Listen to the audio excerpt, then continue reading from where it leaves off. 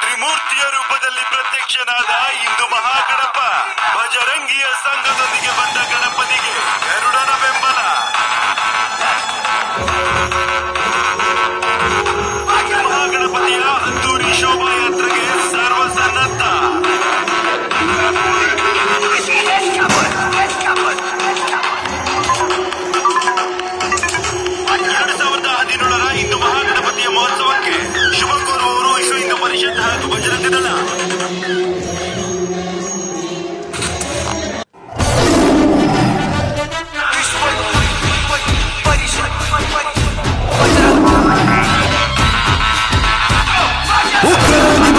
Hindu महागण